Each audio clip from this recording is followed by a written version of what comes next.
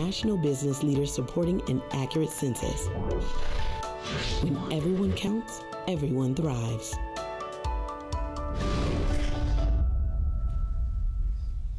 Good afternoon, everyone. Thank you all for being here this afternoon. I want to say that this will be one of the most important conversations we have for this decade. And thank you all for participating. When you leave this session today, we want you to truly understand not only that we have a 2020 census upon us, but the implications of this work. Mm-hmm. How it is so important for the state of Michigan, for each and every one of us in this organization and the work that we do for our organizations, and why it's so important for children and families, not only in the state of Michigan, but nationally. Mm-hmm. And so today I have with me to have this conversation some very esteemed individuals, and I will introduce them quickly. I know our time is going to run very fast, so we are going to get right into this conversation. On the stage with me, I have the Honorable Mike Duggan, the mayor of the city of Detroit. And Mayor, I just have to tell you, after your presentation this morning, I have never been more proud to be a resident and a native Detroiter. All Thank right, you for what you're doing. We also have Jeffrey Connor Naylor, Deputy Director for Ready Nation. We have Nancy Moody, Vice President, Public Affairs for DTE Energy and Chair of the DTE Energy Foundation. Donna Murray Brown, President and CEO of Michigan Nonprofit Association. Arturo Vargas, CEO for the National Association of Latino Elected and Appointed Officials Education Fund. Thank you for joining us. I'd also like to say as we begin, you each have a card on your tables. Um, the information in the video is on this card. You are going to want to use this card. These are your talking points for how we make sure that everyone understands the significance of the 2020 census. And secondly, I'd like to uh, point out on every table we have question cards.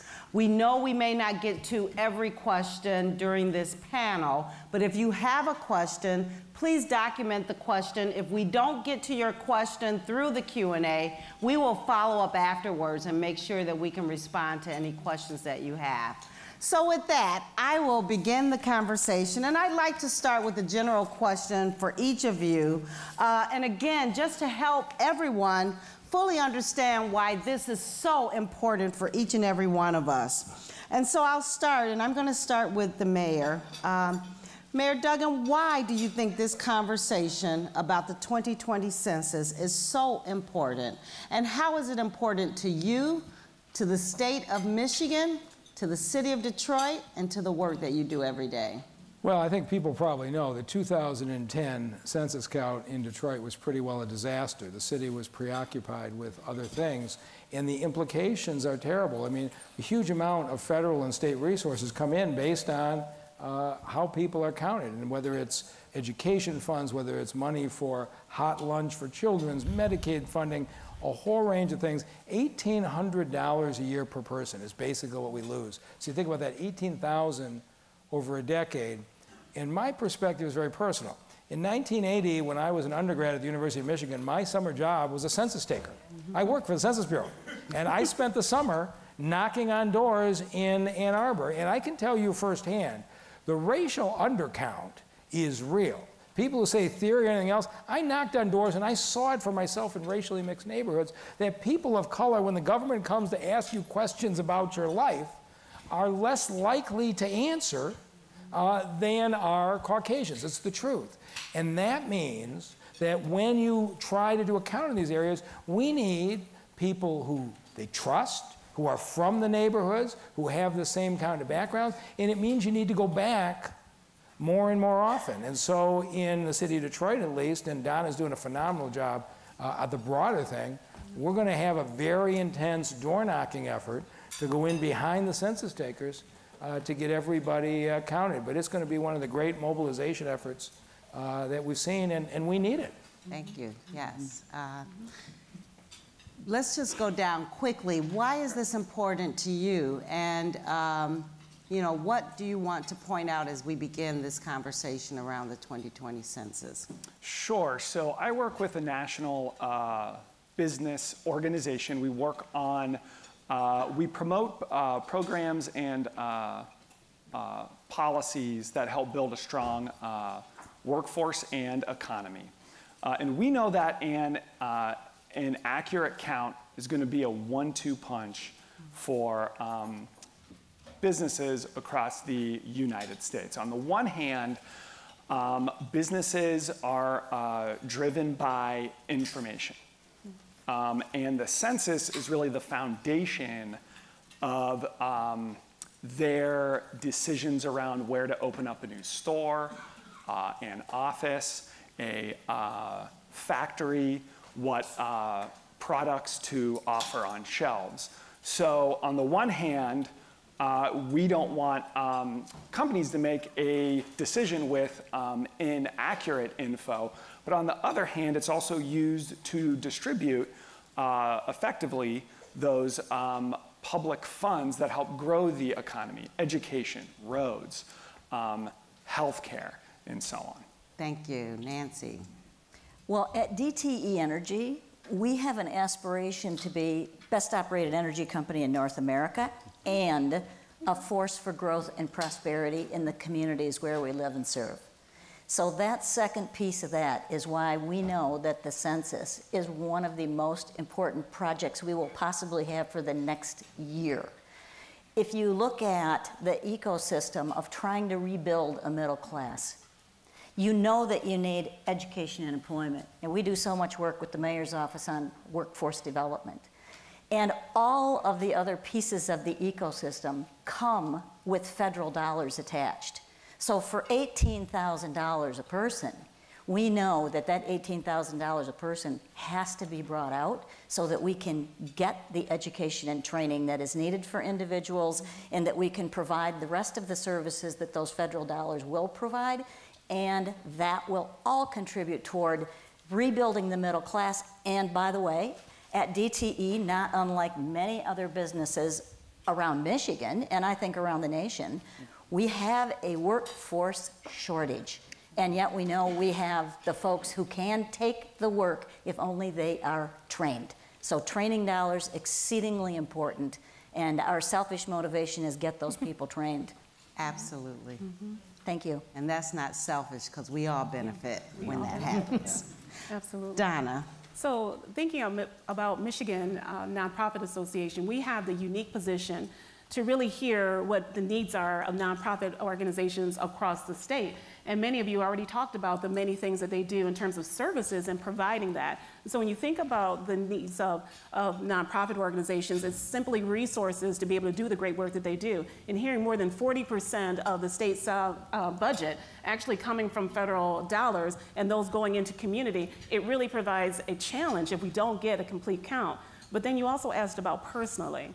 And so one of the things that drives me personally, and I think even the values of, of the staff that work at Michigan Nonprofit Association is about those that are underrepresented in the count. We don't often talk about them, and quite frankly, they were my family in Detroit who were very apathetic about completing the census, right? And so these are the same individuals in communities across um, the state who really don't necessarily understand how they fit and how they matter and how their voices can make a difference. And this is the first step they can do that by actually being counted in the census. So it's uh, very important to me personally and professionally.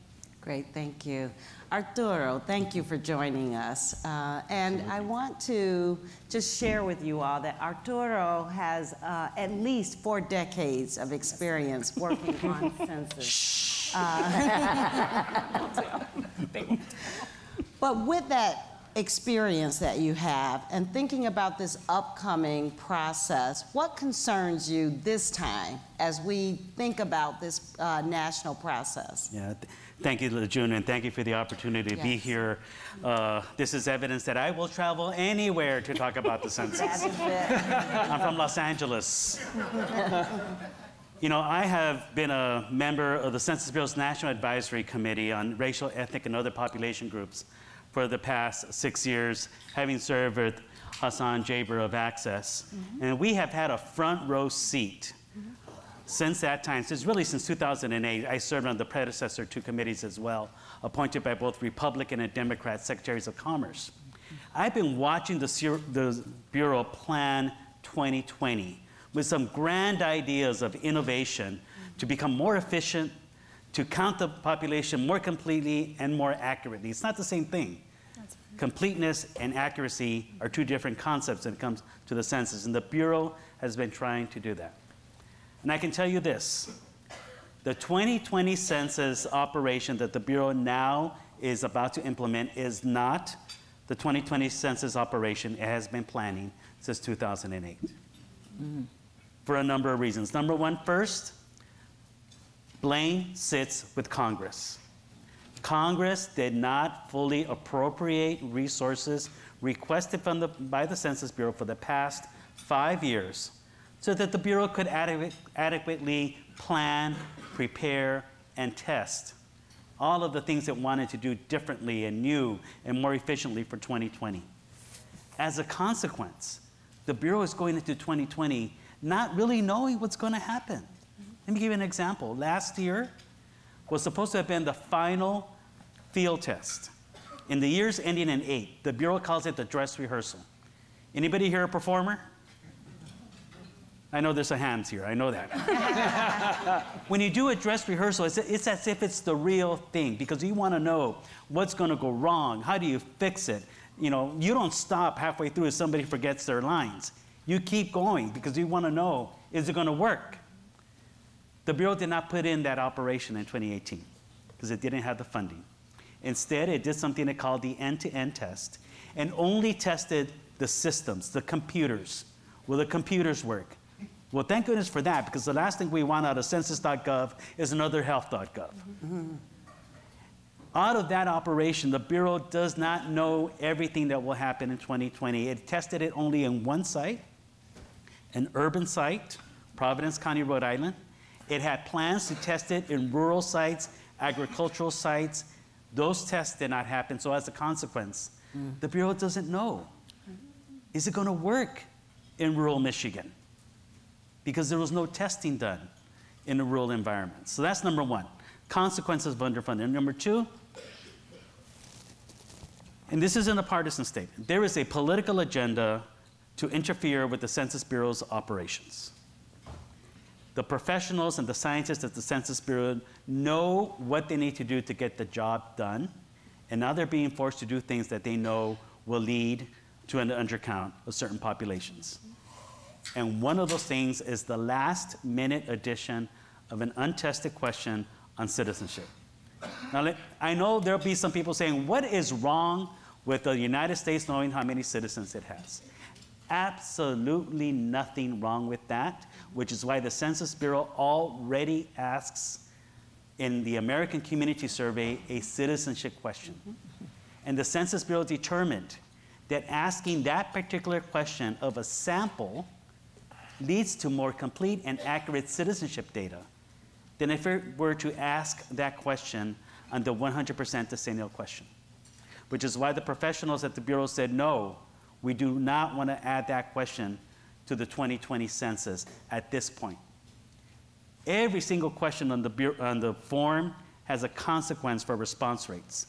The way you word it, mm-hmm. if you say, what is this person's gender and what is this person's sex, that elicits different response rates.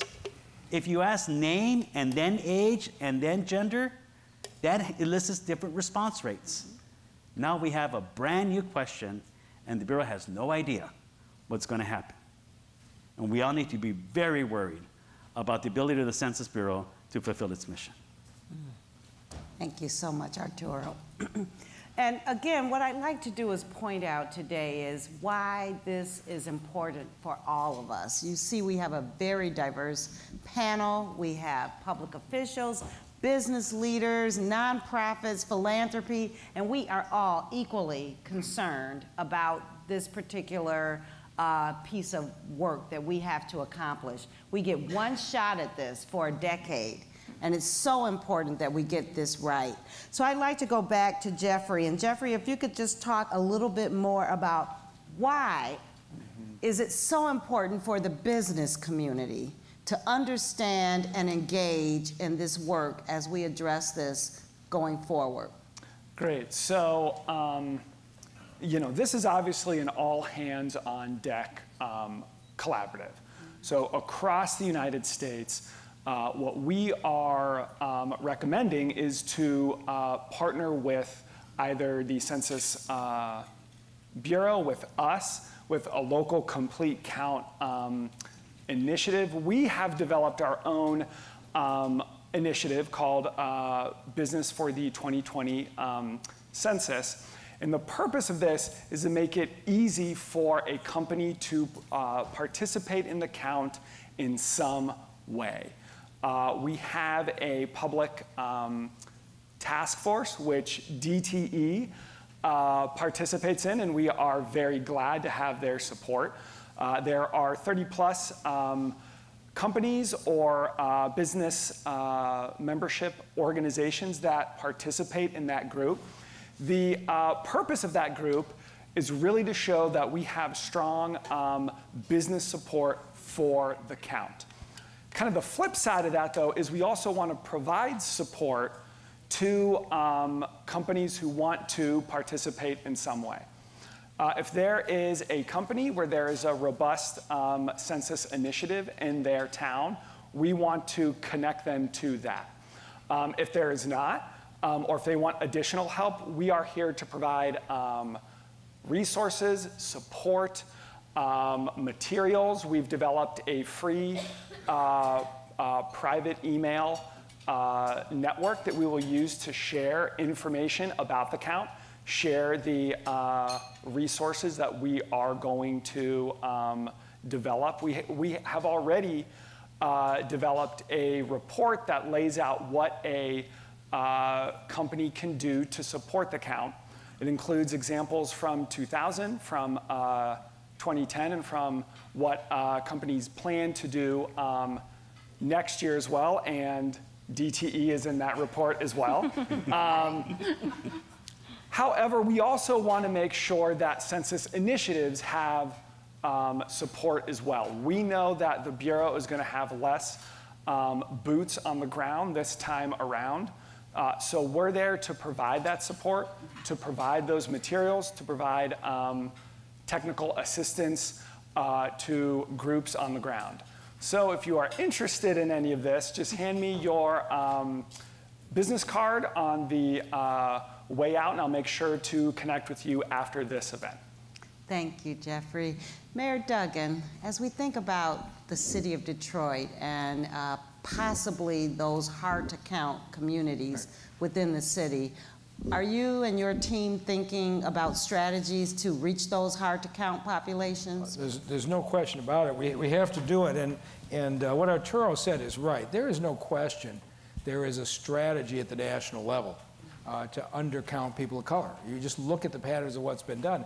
And the citizenship question, understand how malicious this is. The U.S. Constitution has never provided for the counting of citizens it talked about the counting of inhabitants. So you think about when the Constitution was written, nobody was born an American citizen. They were born British citizens or they're Native American, Spanish citizens. The, this Constitution is provided in this country, we always counted inhabitants. The only reason to inject a citizenship question is to raise fears uh, that it's going to be used in a way. And uh, we have fewer offices, fewer census workers, uh, and everybody knows that it takes more effort uh, to count in minority communities. And so what we are going to do uh, is run something I know very well. We're going to run an intensive door-to-door field campaign. Now, the good news is the professionals working for the Census Bureau, those who are hired, they're dedicated. The ones who are on the ground, they're trying to do a good job, and they're working with us. But they can't share with us by law who filled out a form who can't. They can tell you within a particular census tract area, we got a 44% return or a 72% return. This is the first year you're going to be able to do it electronically. So you're going to fill out your census form online. We're going to have uh, laptops at every rec center, community place in America to encourage you to do it.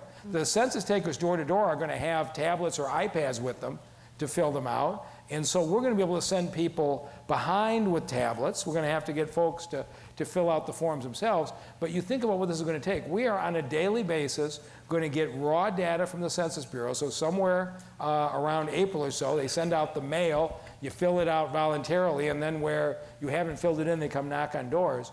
We're going to come in behind. Uh, and uh, Serena Abu Shakra is here. Serena, stand up. Uh, so she is right now helping raise the money for our effort. Uh, and we need to put together $3 million ourselves to put people on the ground to go behind to make sure uh, Detroit gets counted. But you're going to see one of the most sophisticated follow-up door-to-door efforts at census counts uh, that they've uh, been done in the country. And uh, I feel like we're, we're getting organized early and we're going to give it a shot. Right. Could I follow up on something Please that the do. mayor said about when the Constitution was written in Citizen? Let's not forget when the Constitution was written, African American slaves were considered to be only three fifths of a person for purposes of the census. Mm. The census is born in the racism of this country. The 14th Amendment tried to erase that by assuring that this becomes an enumeration of all persons. Male or female, you count as one. Gay, straight, lesbian, transgender, you count as one. One year old, 18 years old, 21 years old, 100 years old, you count as one. Mm-hmm. Experiencing homelessness or exceptional wealth, you count as one. Law abiding or felon, you count as one right. if you're counted. That's right. Mm-hmm. This is the only thing the federal government does in which all of us truly are equal. We all count as one, as a person, and any effort to undermine that undermines our constitutional values mm-hmm. and our whole belief in equity and equality in this country. Absolutely.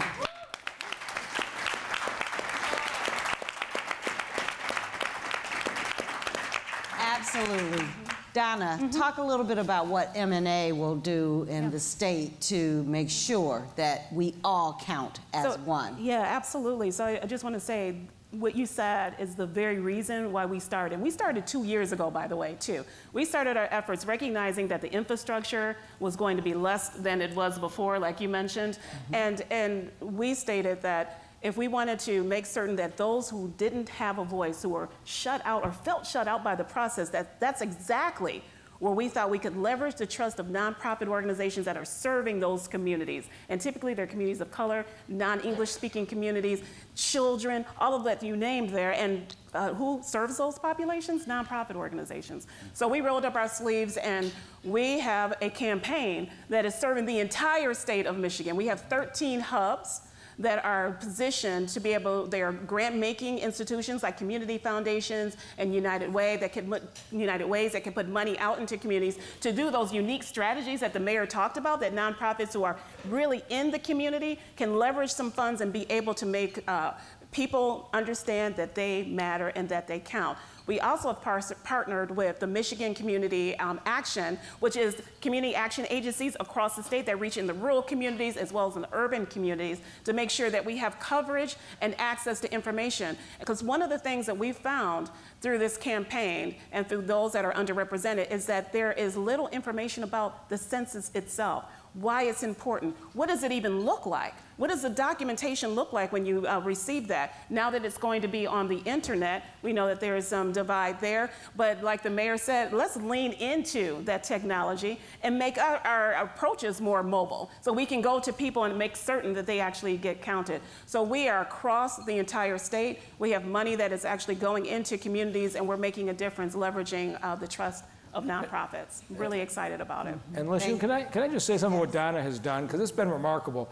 Uh, in this state, and particularly in the city, we got factions that fight with each other very passionately all the time. uh, and, uh, and they rage uh, on, on the perspectives of political scale. What they have done is pull together everybody. No matter what our political beliefs are, no matter what our priorities are, we have people in the room who usually shout at each other who are smiling and working together because we all agree on this. That's right. We're going to get everybody right. counted. Absolutely. Absolutely. So, Nancy, DTE, Yes. What will DTE do? You guys are so busy making profits and running. Thank you. we do our best. and we're glad that you do. But what what are you planning as it relates to the 2020 cen- census at We DTE? We have a whole spectrum of things that are planned.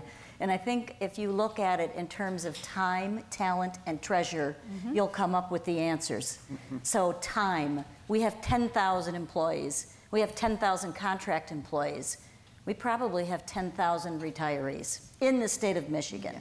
And we intend to use all of those people if they are so willing, but we will certainly make sure they're aware of the opportunities mm-hmm. To get out into the neighborhoods block by block by block. The mayor said it. This is a field campaign. It is a door to door field campaign. So we have people, number one. Talent. We have computers. We have a lot of computers with a lot of computer know how. We, combining our service with that actual technology in the field, we can make sure that everybody who gets to the place to be able to input their data can input their data properly. So that is a second major piece that we can provide. And last, treasure. So that one is, in a way, the easiest of all. Give money. Because every one of these campaigns across Michigan, not just in the city, although you better believe we're very engaged in the city because we've got, well, we'll find out, maybe 700,000 people. We'll find out.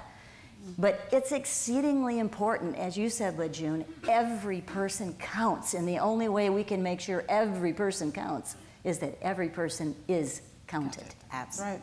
Thank you. And thank you, DTE. Arturo, help us understand what we can do to support making sure that every Latino person is counted in, the, in, the, in our state and everywhere, given the climate in this country and the fear that is being uh, just uh, exuded through uh, the Latino communities. Help us understand how we can be in solidarity in this work. Uh, Jeff said it, it's all hands on deck. And I think we also need to understand the components of the undercount in the Latino community. We thought that this census was going to be the one where we finally got to the issue of the undercount of very young Latino children. You know, there were 2.2 million children ages 0 to 4 who were not counted in 2010. I'm sorry. Yeah, 2.2 million were not counted. 1.2 million children were overcounted. Not the same children, by the way. Mm-hmm. The children missed was largely children of color and poor children. Children counted more than once was largely white and in wealthy families. The net undercount was about a million children not counting, counted, 40% of them Latino children, hmm. where Latino children make up 24% of America's children. So there is an undercount of Latino children. The other thing we've learned by forcing the Bureau to actually study as to why this happens is that the majority of children missed in the census lived in households that responded to the 2020 census. They sent a form back. Right. And as far as the Census Bureau is concerned, check that house enumerated, mm-hmm. even though people were left off, children were left off that form. Some adult in that household made the conscious decision not to include every child.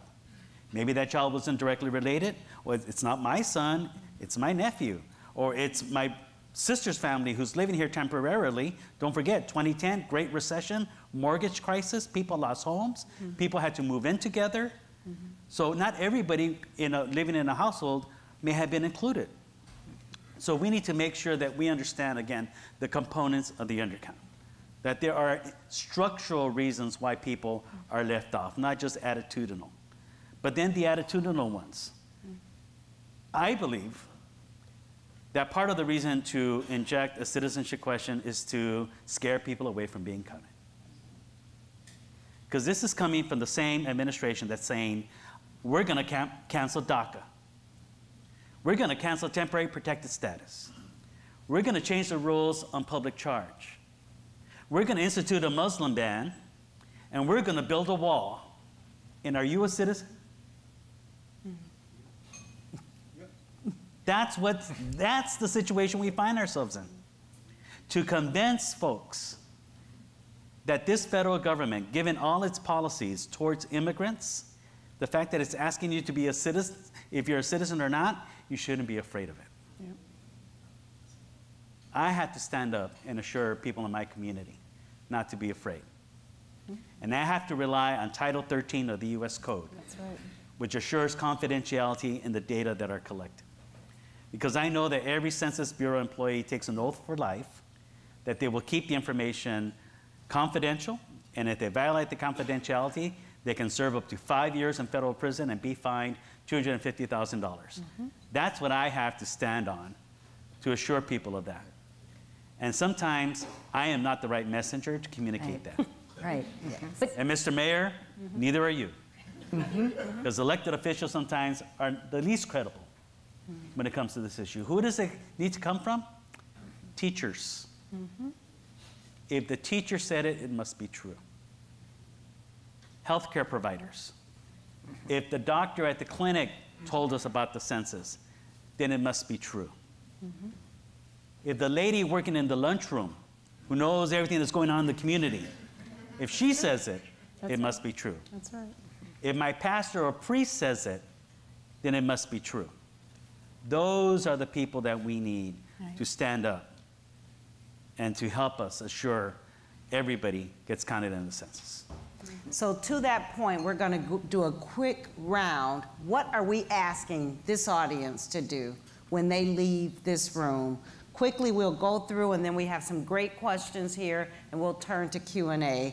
Jeffrey, we'll just start with you. What are we asking this audience to do? Great. So if you work for a um, company, for a uh, chamber, begin to think now about how you can help engage your employees, engage your um, customers around the count. Um, March 15th is when the uh, census will begin to be in the field in mass. Um, and a company can help by encouraging folks to fill out their forms early.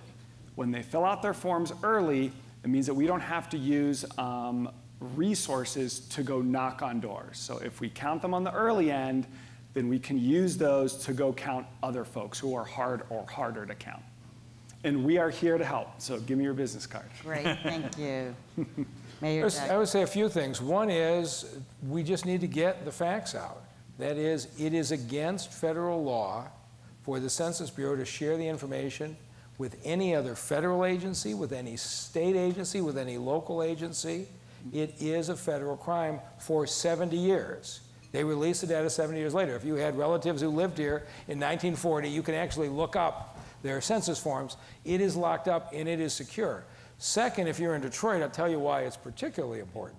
Uh, and while the, the took a step forward today on car insurance, we have a whole lot of people who are residing in apartments in the city of Detroit who claim they live in the suburbs. In fact, two thirds of the people living in Riverfront Towers and 1300 Lafayette claim they live in the suburbs because of car insurance. And one of our messages, because the new law is not going to take effect on car insurance until July 1st of 2020, is this you can honestly fill out your census form where you sleep at night.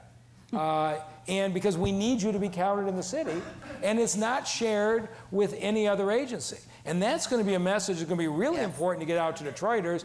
Be honest uh, and fill out uh, it accurately because the city needs the resources. And third, I would say we're going to be on the ground in the neighborhoods. It'll be next March, April, May, June, July. But if you got a company who wants to participate, you can talk to Serene today.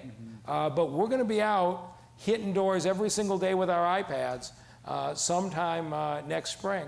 Uh, and it is going to be a massive volunteer effort. And if you want to get signed up now and start to get educated now, we'd love to have you.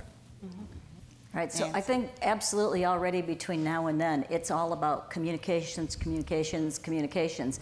And businesses and nonprofits and other organizations all have mechanisms. We have digital, we have print, we have word of mouth. So every association can do this, every business can do this, every nonprofit partner can do it. And I think it's also important when you start looking at the nationwide effort that we all have industry, well, I have industry associations in business, but we each have national associations. Right. Spread the word through your national associations to be doing the same thing and raising the awareness of the importance of getting the count right. Mm-hmm. Great, thank you.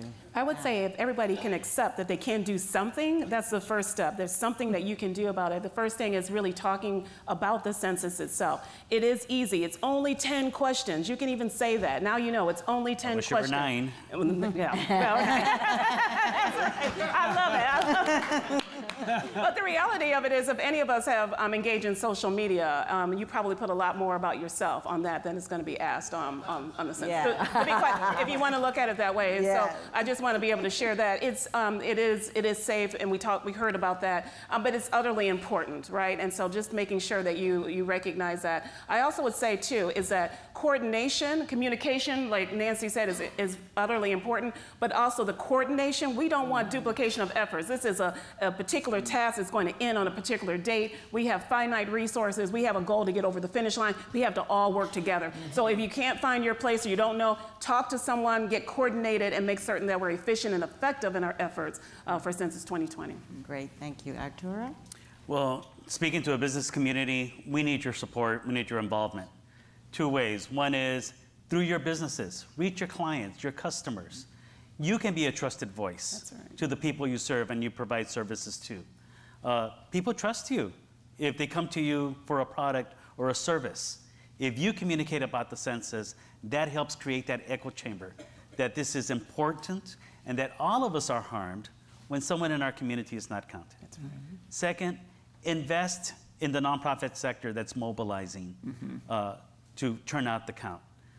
The US government can only do so much and say so much to convince people. They're going to spend millions on a big ad campaign and they're going to buy, you know, in 2010 they bought a Super Bowl ad. I don't know if you remember that. And that's where the millions are going to go. We need millions to go into the community. Absolutely. Mm-hmm. And we need your support for that. Great, and I'm going to transition to questions, but I just wanted to share with you a little bit about what philanthropy is thinking about this. Why would the Kellogg Foundation host this session? Well, as we've heard on the panel, children are one of the most uh, highly undercounted populations, as well as people of color, and we've heard the reasons why. What we've done at the Kellogg Foundation is thought about this both at a national level as well as the local level. And I want to share with you that uh, some people say philanthropy has a hard time coming together, but lately that has, that has changed. It has changed nationally, it has changed, as, as Mayor Duggan spoke of earlier, is definitely changing in the city of Detroit. At the national level, philanthropy has amassed over $30 million to help support populations across the nation who are uh, identified as undercounted or underrepresented, hard to count places our foundation gave $5 million to that national mm. effort. Not our places, not our programming priorities, but we understand this is a national issue regardless of what our particular interests are. And this is important for every person, every child, regardless of our foundation. So we are funding not only at the national level, but also in the state of Michigan, supporting MNA and the work that's happening on the ground, and we will continue to do that.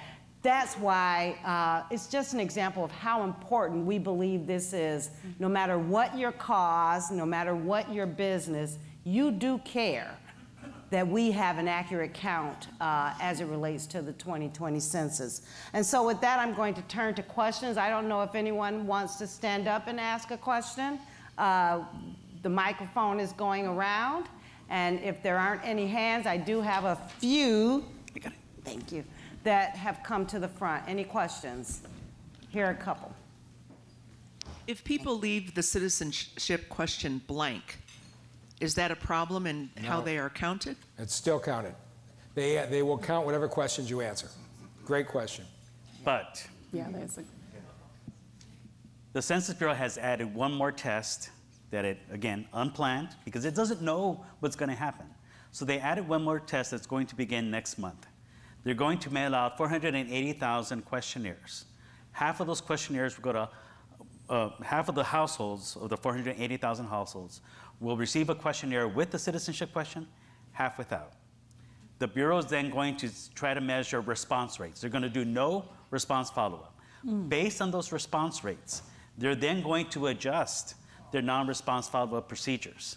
We won't know the results of that test until October. When people ask me that question, I honestly tell them, I don't know. I don't know because the Census Bureau doesn't know. Hmm. And that's the problem with adding an untested question at this point. Mm-hmm. The mayor's right. Historically, if one or two questions are left blank, the operation is so massive that it's impossible for the Census Bureau to follow up with every single household that leaves a question blank. Which is why this time around, the Census Bureau also wants to use administrative records to fill in the blanks and impute hmm. missing data. Hmm. so that's another issue. That's another issue. Mm. They are getting information from IRS, Medicaid, USCIS, the State Department, so that instead of sending an enumerator to knock on the door, if they can enumerate administratively, they're going to do that as a cost saving strategy.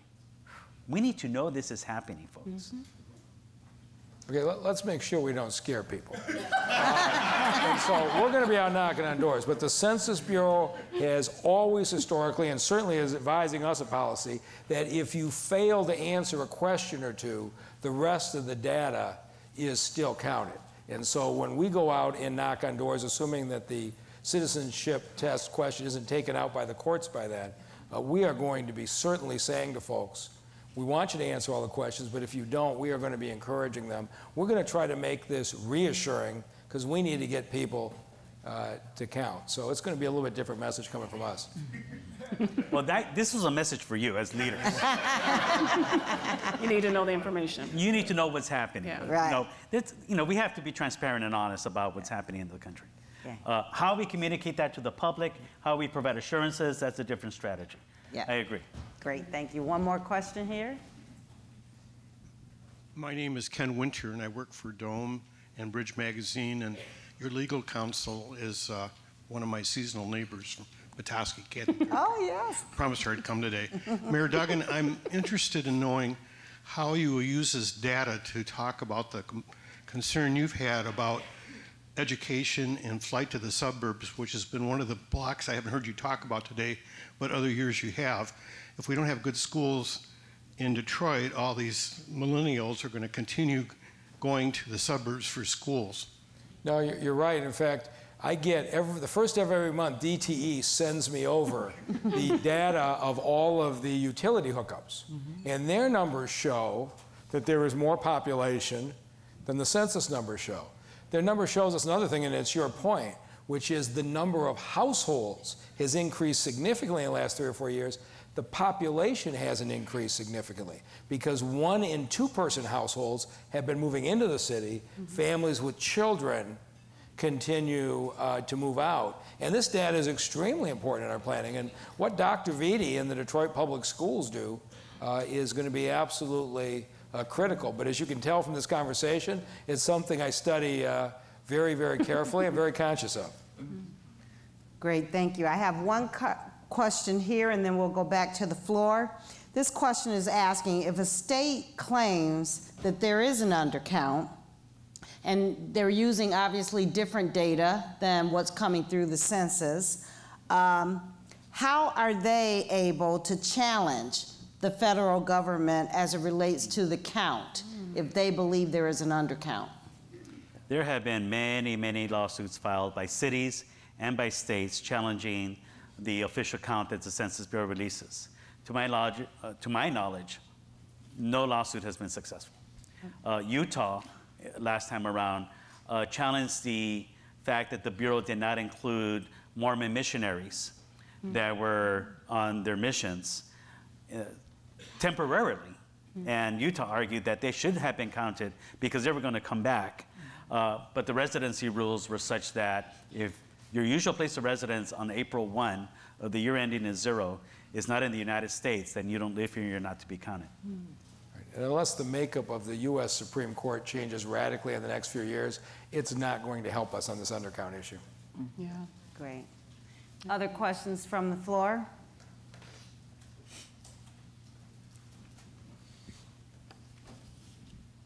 Thank you. Hi, uh, Darienne Driver Hudson, CEO of United Way for Southeastern Michigan. Uh, my question uh, was for Mayor Duggan. You had mentioned that you're trying to raise $3 million. How close are you to that goal? And then what is the, you know, end, the end date that you need that money? So, so we've got 500,000 in hand, a million committed, and uh, Serene's job depends upon raising the other million and a half by the end of the year. Uh, No pressure. So uh, I have full confidence in her, but, but we need to raise it over the course of this year. So we've got the early volunteer efforts and organizing being set up now. We're going to have to be paying a whole lot of people to be knocking on doors in the early part of next year. So sometime in the next few months would be enormously helpful. Great. Here's another question related to that. Uh, someone is asking Is there a certification or a training that a person has to go through if they want to help, or a nonprofit organization has to go through in order to help? Donna? So I can talk about, um, as a nonprofit organization, we do have a website that is um, available for you to, to get resources and training uh, from that. So that's bcountedmi2020.org. And there are resources there to, to do that. And we uh, will be partnering with others to do training. We are working with an ethnic media group as well that's going to be doing training on media and around messaging, which, by the way, is something unique for, um, for our efforts this year because in 2010 there was lots of um, opportunity, but no one took advantage necessarily of partnering um, very directly with ethnic media. This time we're being very purposeful and making certain that we are partnering with them to make certain that there are messages, the right messages, getting into community the way that it should. So there'll be some training um, around that as well. Great. Is there a question here?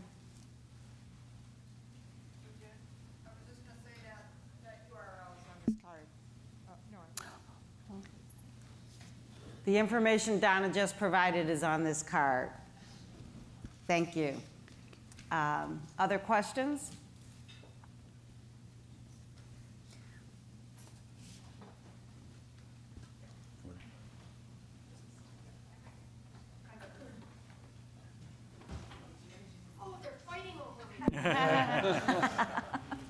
So I have a question. I, I don't remember from past censuses that businesses, now, now we have digital, we can do these things online. Did companies say, okay, it's census afternoon, uh, you get 30 minutes to go online, we're giving everybody a break and making a big deal out of it?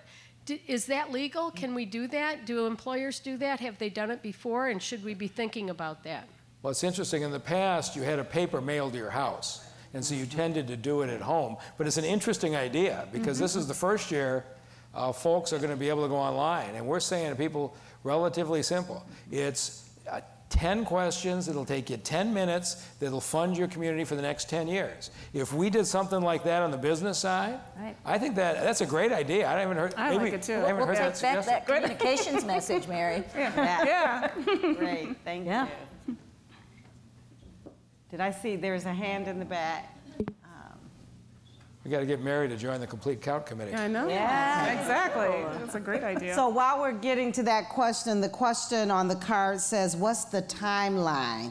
And when will the census be administered? The actual timeline for this process? So the first mailings will start going out on March 12th. It's going, they're going to go out in four waves because the Census Bureau does not want to overload the computers. By March 19th, every single address for which the Census Bureau has an address will have received an initial mailing. 20% of households in that initial mailing will receive a paper form from the get-go. We don't yet know which 20% of those households will be. And we want to know that so that we can adjust our get out the count efforts. Mm-hmm. There will be a total of four mailings, two reminders if you don't respond. By the fourth mailing, that will come in mid April, if a household still doesn't respond, that household will get a paper form. So everybody will get a paper form eventually because we know many people would rather use paper than not. The self response period ends April 30th. May 1st is when the non response follow up period begins. If you don't respond by April 30th, then your household gets put into that universe of follow up, and that's in the Bureau first We'll try to complete or enumerate administratively. Mm-hmm. And if unable to, then that's when they start deploying enumerators to try to get the information from a non responding household. Mm. Everything, the operation ends by July 31st. The data have to be reported to the White House, to apportion the House of Representatives by December 31st, 2020. So I know I'm the moderator, but I have a follow-up. Uh, so how do we know as uh, foot soldiers on the ground, uh, the households that uh, have not responded that require follow-up? Is there some communication back We won't know from the federal which households don't respond because that would be a violation of Title 13 confidentiality. Okay. But we will know response rates by census tracts. Well, I'm not know if it's census tracts or, or zip codes. We're, ta- we're talking about narrower, but they haven't given us an answer on that. So the Census Bureau is going to be able to give us real-time response rates mm-hmm. so that we could then a- a- adjust our rapid response modes like, hey, this neighborhood is falling, Mexicantown, it's, Mhm. it's called in Detroit, right? Yeah. Yeah, that's right. It's falling behind on response rates. Mm-hmm. Let's deploy resources there. Let's, mm-hmm. you know, rally up the troops. Uh, there will be that opportunity during non-response follow-up. So the intense period again being March 12th to April 30th. Then May 1 to July uh, 31st, that's when the Bureau then goes into the field. And let's be careful about not stumbling over their work Exactly. because they are going to be going to the households that haven't replied.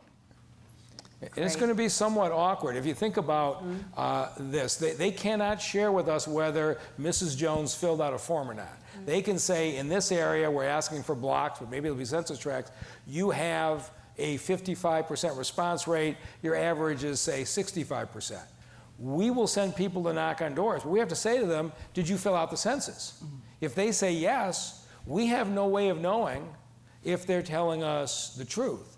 Uh, and uh, if they say no, then we, we try to convince them. So this is not an easy thing. So we're going to have to educate folks that we are going out to knock on doors. Don't be troubled if somebody asks you uh, if you filled out the census and you already have. Uh, that's a great thing.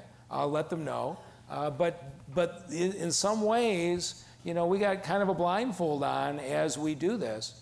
Uh, but if we get uh, the messaging from people in the community saying, folks are going to be out, you need to do this, this is important, it can't be used, that's what we're going to try. I also think that timeline that was just share with us is utterly important too, for people to know when things start and when they end and when it's critically important because next year is going to be a presidential election. Mhm. There's going to be lots of other distractions. We have to understand When's the when Michigan primary? uh, March. March. March.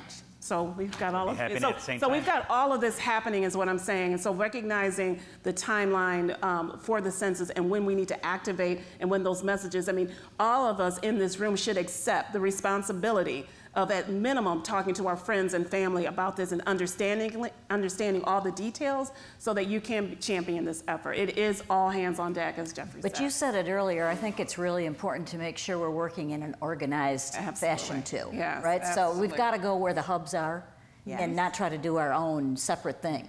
Exactly. Thank Great. you. We'll take the last question in the back. Thank you. Uh, good afternoon. My name is Omari Rush. I'm the director of CultureSource, uh, Southeast Michigan's Alliance of Arts and Cultural Organizations. And um, as a bit of a follow up to Mary's question, I was wondering if you could talk a little bit about what you all feel is ethical, not ethical, legal, or not legal um, regarding incentivizing people to um, fill out the census, you know? Um, yeah. I'm not aware of any Thank legal you. restrictions. I don't think there are any legal issues to No, but incentivize. I don't know if the, you're aware of that. the law does require that we all respond to the census. It's a mm-hmm. violation of federal law not, Not to. to fill out your census form. You can be fined up to $100. If you answer falsely, you can be fined up to $500. dollars mm-hmm. Now, there are lots of folks who have been saying, oh, hashtag skip the, skip the question, hashtag mm-hmm. leave it blank. Uh, people who do that are going to be encouraging people to violate the law. And there's going to be liability for that. So we need to be very careful about how we communicate that nuance if you want to leave the question blank. Now, as far as incentivizing, hey, if you fill out your census form, come to my donut shop, you get a free donut. Why not? Why not? D- DTE could offer 10 pay, 10% off your Such creativity. right here.